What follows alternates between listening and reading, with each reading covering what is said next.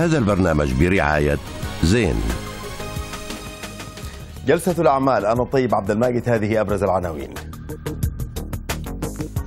تعاون إماراتي قطري وسط تبادل تجاري يفوق الخمسة مليارات دولار. شيفرون الأمريكية ستبقي الإنتاج متوقفا بحقل الوفر المشترك مع السعودية. عطل لدى المراقبين الجويين يشل حركة مطار بلجيكا.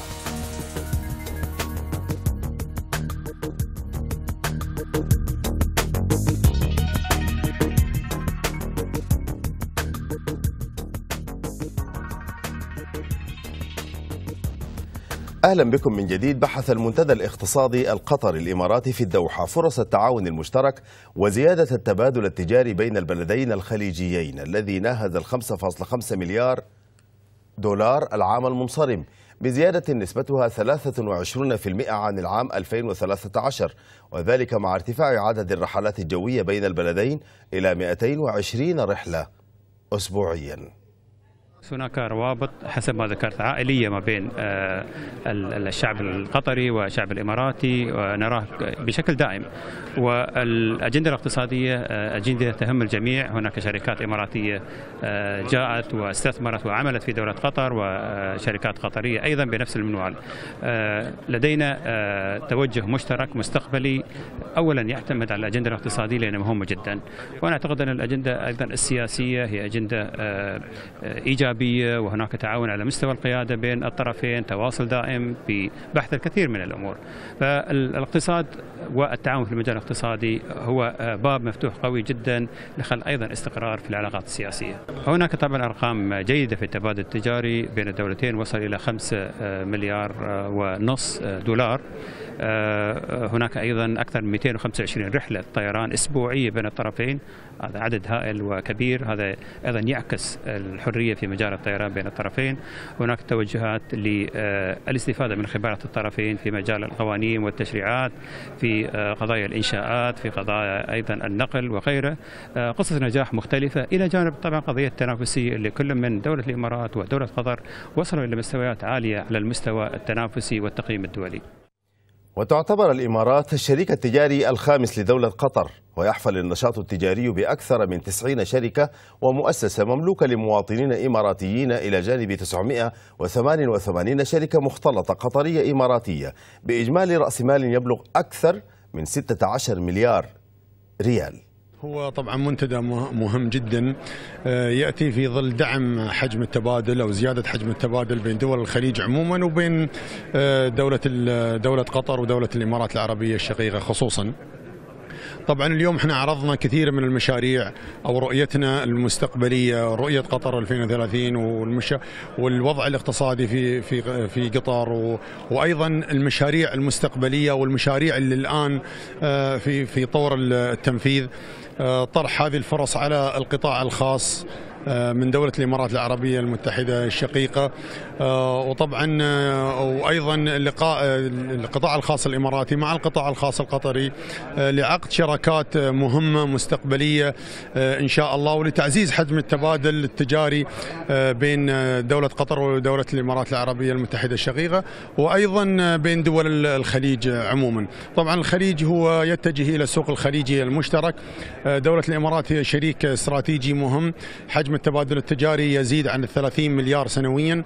آه، هناك كثير من الشركات الإماراتية العاملة هنا بالمئات آه، بشراكات آه، قطرية إماراتية وأيضا هناك شركات تعمل شركات برأس مال إماراتي 100% تعمل هنا في قطر. نحن نرحب طبعا بجميع الشراكات هذه والشركات والمؤسسات التي تعمل في قطر سواء من دول الخليج أو من دولة الإمارات العربية المتحدة خصوصا.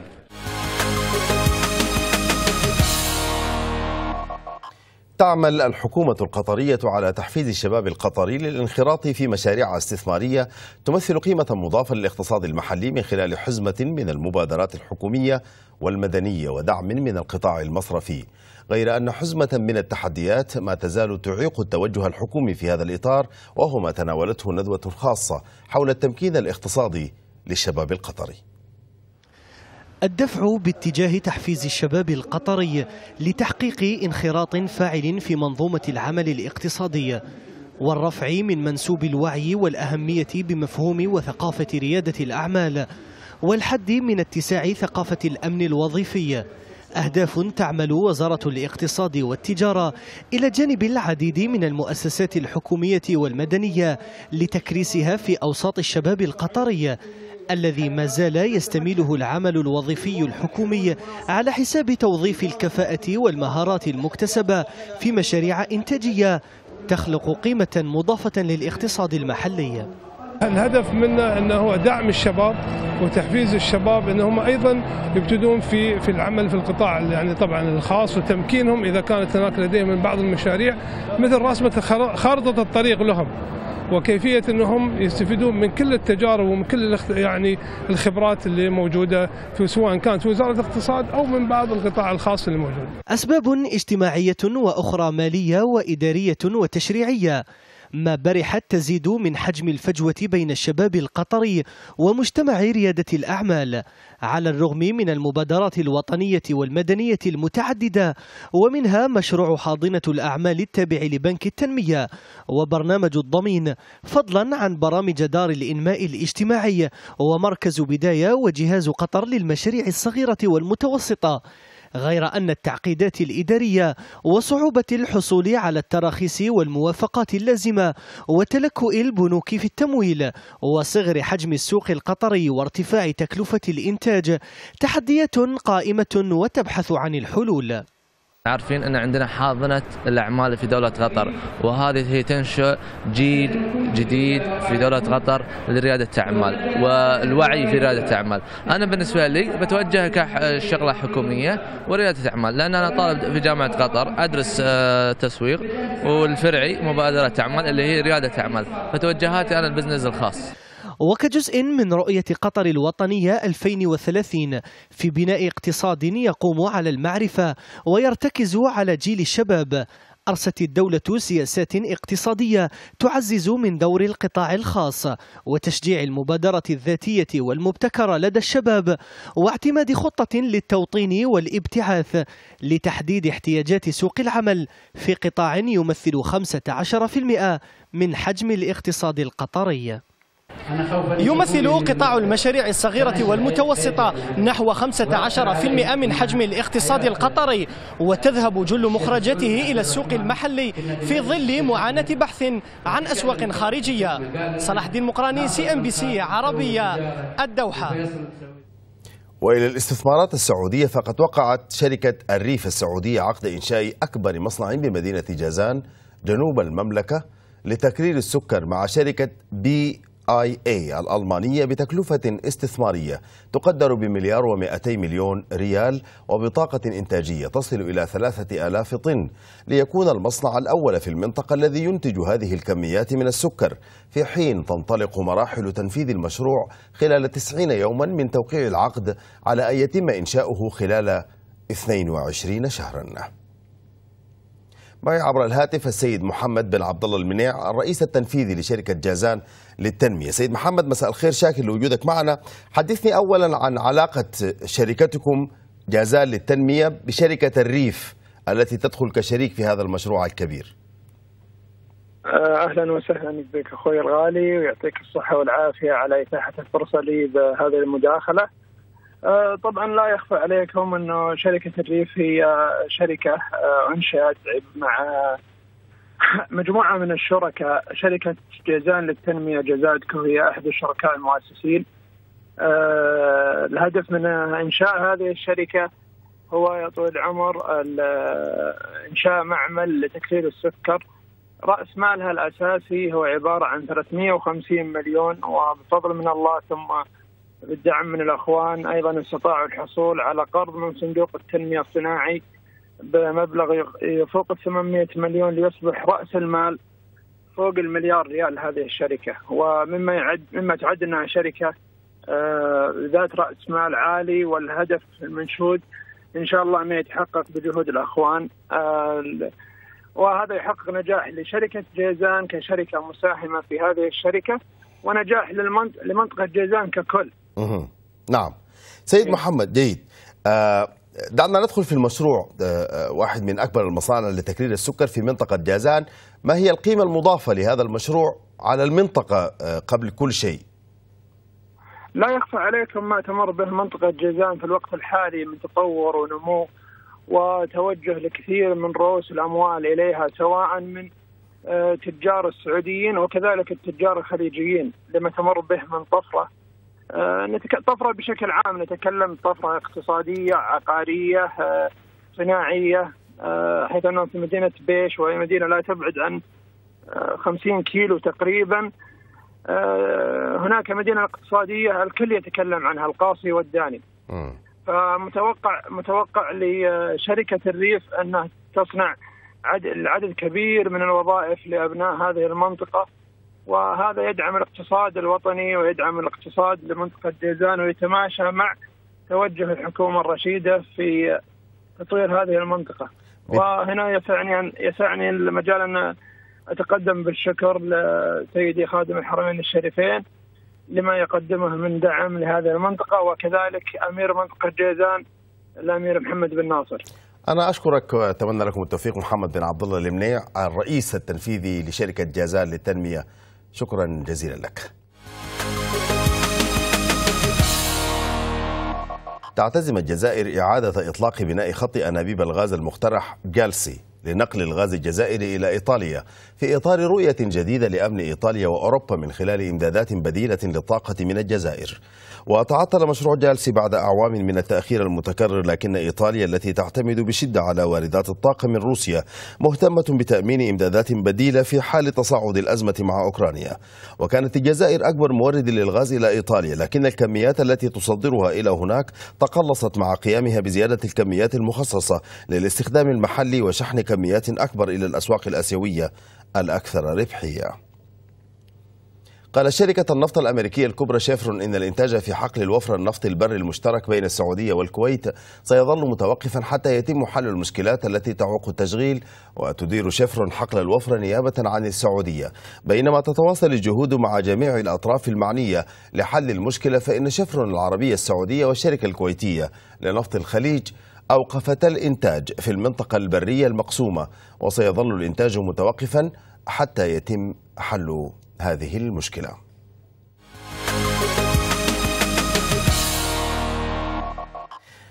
أنتم تتابعون جلسة الأعمال من سي ان بي سي عربية فيها بعد الفاصل. هجوم إلكتروني يستهدف مصلحة الضرائب الأمريكية.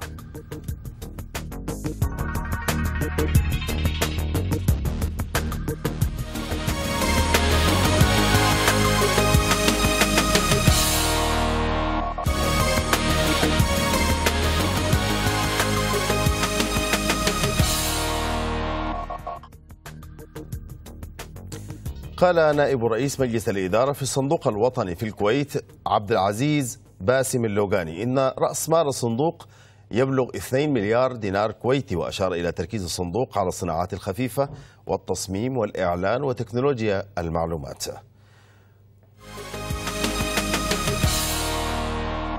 ما هو حجم المخصصات أو حجم المبالغ المخصصة لتمويل هذا النوع من الشركات في دولة الكويت؟ رأس مال الصندوق هو مليارين دينار آه، كويتي. وطبعا بالتعاون ما بين معالي وزير المالية ومعالي وزير التجارة يتم الاتفاق على الدفعات اللي محتاجينها للصندوق الوطني. وأعتقد إن خلال الفترة القادمة آه، يعني راح نشوف وضعت معايير وأهداف آه، نقدر نقيس عليها.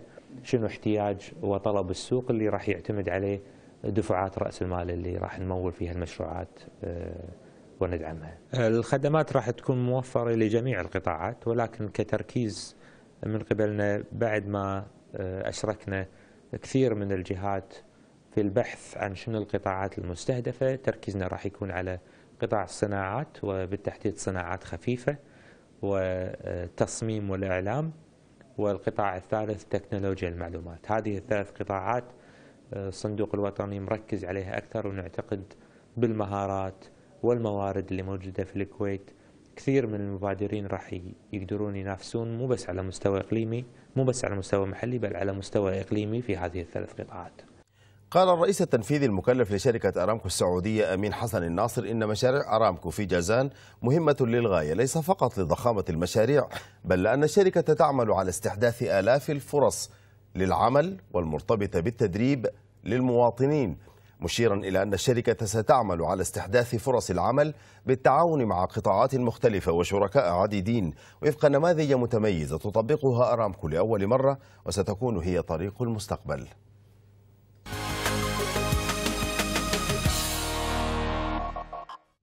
تعرضت مصلحة الضرائب الأمريكية لهجوم إلكتروني أسفر عن سرقة معطيات ضريبية تتعلق بنحو 100 ألف شخص. وقال مكتب الدخل الداخلي في بيان إن القراصنة قاموا أولا بجمع معلومات شخصية عن مكلفي الضرائب من طرف ثالث بينها تاريخ الميلاد والعنوان ورقم الضمان الاجتماعي. ثم استخدموا هذه المعطيات لدخول الخدمة الإلكترونية لمصلحة الضرائب.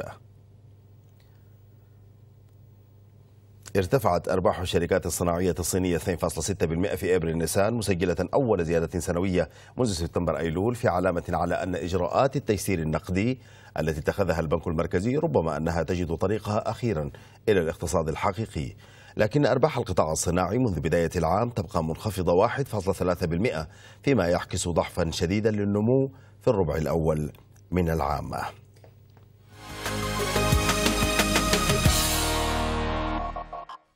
في بلجيكا حدث أمر نادر حيث لم تتلقى أي طائرة إذنا بالهبوط أو الإقلاع من أي مطار بلجيكي.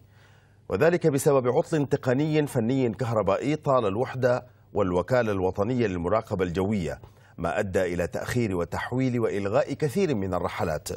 ووقع العطل في الوكالة الوطنية للمراقبة الجوية البلجيكية وتم تحويل حوالي 40 طائرة كانت ستحط رحالها في بروكسل إلى مطارات دول مجاورة. توصلت هولسيم ولافارج للأسمنت إلى اتفاق ملزم تشتري بموجبه شركة صناعة الإسمنت الإيرلندية سي آر إتش. بعض أصولهما مقابل سبعة مليارات وسبعين مليون دولار لتصبح الشركة الإيرلندية ثالث أكبر مورد لمواد البناء في العالم. جدير بالذكر أن سلطة مكافحة الاحتكار بالاتحاد الأوروبي كانت قد أقرت صفقة تخارج بين هولسيم ولافارج كشرط لعملية الاندماج. تعتزم شركة اس تي ام التركية لصناعة للصناعات العسكرية الإشراف على تطوير طائرات ركاب تسع 32 إلى 50 راكبا بالتعاون مع شريك أمريكي باستثمارات تقدر بمليار ونصف المليار دولار. وسيبدأ إنتاج الطائرة التي تسع 32 مقعدا وفقا لتصميم أجيز في عام 2011 وتكون البداية بعشر طائرات وسيرتفع العدد إلى 48 طائرة سنويا بحلول العام 2022 قال البنك الأفريقي للتنمية عبر التقرير السنوي لأفاق الاقتصاد إن اقتصادات القارة الأفريقية سوف تنمو بنسب تقترب من مثيلتها قبل الأزمة المالية العالمية عام 2008 مع ارتفاع الطلب على الصادرات. التفاصيل في هذا التقرير. اقتصاد القارة السمراء ينمو متجاوزا انخفاض أسعار النفط وآثار إيبولا المدمر. فبنك التنمية الإفريقي يبدو متفائلا وهو يصدر تقريره السنوي حول آفاق اقتصاد إفريقيا والذي أوضح فيه أن الاقتصادات ستنمو بنسبة 4.5% خلال العام الجاري بل إن تفاؤله اتسع ليشمل العام القادم والذي يتوقع البنك أن يصل النمو خلاله إلى 5% نسب تقترب من مثيلاتها قبل الأزمة العالمية عام 2008 أرجع البنك سبب هذا التفاؤل إلى ارتفاع الصادرات الإفريقية بنحو 3.9% خلال العام الماضي بعدما ارتفع حجم التبادل التجاري بين الصين وإفريقيا خلال عام 2013 إلى 210 مليارات دولار مقابل 85 مليار دولار قيمته بين واشنطن والبلدان الإفريقية لتغدو صادرات إفريقيا إلى الصين ضعفي الصادرات إلى الولايات المتحدة وأربعة أضعاف الصادرات الإفريقية إلى دول الاتحاد الأوروبي. التقرير أشار أيضا إلى أن التدفقات المالية سوف تقفز بنحو 7% إلى 193 مليار دولار أمريكي مدعومة بالارتفاع في الاستثمارات الأجنبية المباشرة التي وصلت إلى 87 مليار دولار خلال عام 2014 أي نموا بنسبة 65% كان للصين الحصة الأكبر فيه. ومع هذا النمو ارتفع الناتج المحلي الإجمالي في إفريقيا إلى نحو 6% متجاوزا معدل المستوى العالمي بنقطة ونصف النقطة المئوية. ورغم هذا النمو المبشر بالخير فإن نمو القارة في المستقبل سيكون محكوما بتزايدها السكاني المضطرد إذ سيبلغ تعداد الأفارقة نحو المليارين خلال السنوات الخمس والثلاثين المقبلة. طفرة سكانية قد تعيد سيناريو الطفرة الاقتصادية في كبريات اقتصادات آسيا مثل الصين والهند. نور العنبقي سي ان بي سي عربية. هل ستنتهي 17 عاما من الفساد في أرجاء الاتحاد الدولي لكرة القدم؟ فيفا؟ سؤال ينتظر الملايين من عشاق كرة القدم الإجابة عليه بعد انهيار الأخلاق في جمهورية الفيفا وتوالي سقوط مسؤوليها بتهم الفساد. الشرطة السويسرية تداهم فندقا في زيورخ وتعتقل عشرة أشخاص. قد يعتقد البعض أن هذا مشهدا في أحد أفلام الأكشن الأمريكية. بعد القبض على عصابة ولكنه في الواقع لحظة هامة قد تكون نهاية فيلم يدعى الفساد في الفيفا. من بطولة السويسري جوزيف بلاتر. نعود إلى الماضي قليلا لنتابع بداية الفيلم في الثامن من يونيو من عام 1998 عندما انتخب بلاتر رئيسا للفيفا ومنذ ذلك الوقت بدأت حوادث الفساد في الظهور. البداية كانت مع الفرنسي جيروم فالكه الذي أدين بجريمة الكذب على شركتي فيزا وماستر كارد وكلف الفيفا 90 مليون دولار غرامة دفعت للشركتين وأقيل من منصبه ولم يكتف بلاتر بإعادته بعد ستة أشهر فقط من القضية بل عينه أيضا أمينا عاما للفيفا.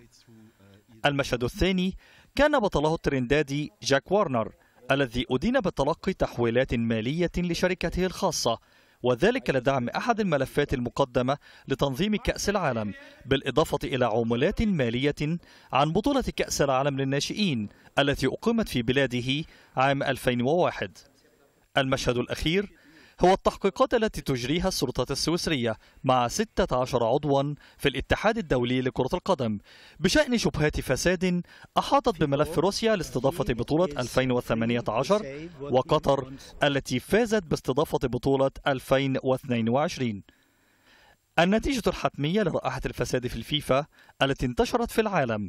دفعت الرعاة الرسميين للاتحاد الدولي إلى إنهاء التعاقدات مع الفيفا بعد عدة سنوات من التعاون المشترك. والأمثلة كثيرة منها طيران الإمارات وشركة العناية الصحية جونسون أند جونسون وشركة الإطارات كونتيننتال السؤال الذي يتداول حاليا بين المهتمين بعالم كرة القدم هو هل ينجح المرشح العربي الأمير الأردني علي بن الحسين في الإطاحة بالإمبراطور جوزيف بلاتر من رئاسة الفيفا والقيام بعملية تطهير واسعة لتبييض 17 عاما من الفساد. شكرا لحسن متابعتكم جلسة الأعمال من سي ان بي سي عربية. إلى اللقاء.